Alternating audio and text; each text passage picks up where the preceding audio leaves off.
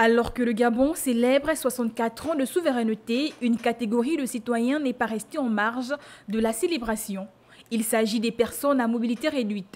Occasion pour ces patriotes d'exprimer leur attachement à la nation. En tant que personne euh, vivant avec un, handicap, je me sens également aussi concerné. Comme tous les Gabonais le savent, euh, la fête du 7 août, c'est la fête de l'indépendance du Gabon. Donc euh, généralement, tous les Gabonais doivent se sentir concernés. Le chef de l'État n'a pas oublié toutes les couches euh, sociales du Gabon et on doit lui laisser le temps. Ce n'est pas parce qu'aujourd'hui, euh, ça ne fait que, je pense, un an. Donc en, une seule année, concernant le social, on ne peut pas le juger.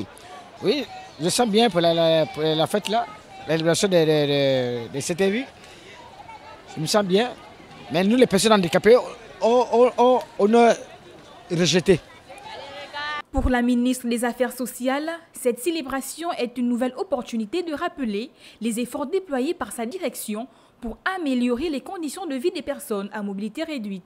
Euh, Aujourd'hui, pour euh, mieux euh, mettre en œuvre des mécanismes de, de prise en charge de, de, ces personnes vivant avec un handicap, nous avons pro procédé à un recensement donc des personnes vivant avec un handicap. Euh, nous, avons, nous procédons également à la distribution du matériel orthopédique donc pour renforcer leur mobilité et leur euh, autonomie.